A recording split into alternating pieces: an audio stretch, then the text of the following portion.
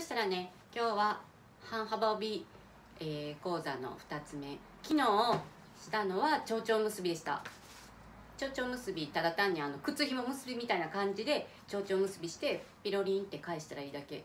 ほんであの帯はそこまで長くなかったのでまあこう垂れ下がるのがそんなに多くなかったのでもう垂れ下げるだけで終えたんですけど今日はちょっと長めなのでそこからちょっとアレンジアレンジってもそんな大したことしないんですけどアレンジしていきます。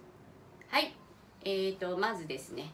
蝶々結び覚えてます？手先の長さ腰ぐらい。手先の長さ腰ぐらい。そしてここ矢印。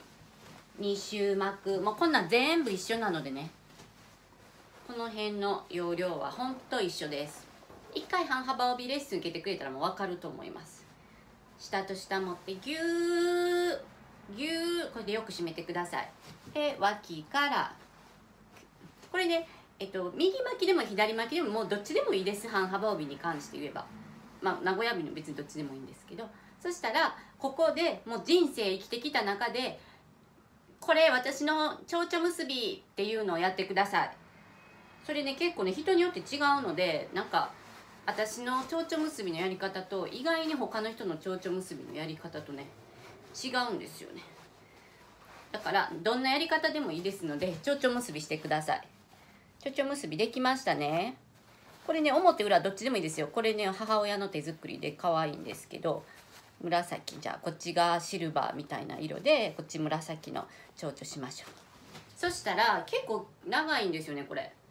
で昨日と一緒でふるりんって返しておきましょう。リボン返しの要領です。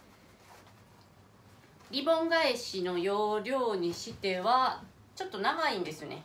まあ長いのが好きやったら全然これでもいいんですけどならばよし。こういう感じになりました。あらちょっと長いわねってなったらこれをこういう風にねします。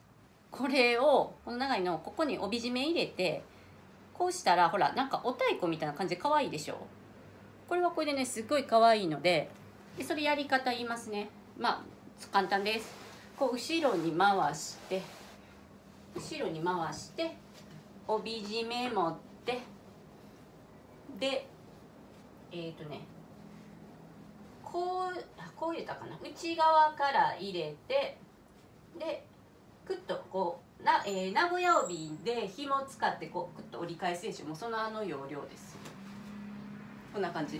もう一遍いきますよ。内側から入れて人差し指でクイッとしてでここでと。こういう感じです。で前で帯締めを結べばいいだけ。これ分かりやすいようにこんなちょっとドキツイ色してますけどあの自分の好きな コーデに合わせてください。そしたらほらちょっとお太鼓みたいな感じで可愛いでしょ。これはさあの蝶々結びからのアレンジです。アレンジって言ってもただ あのお太鼓風にしてるだけなんですけどねじゃあまた明日こんな感じで一つ一つふむふむふむっていうことをしていきますのであのみんな毎日一応1回は見てやらなくてもいいので1回は見てなるほどと思ってください。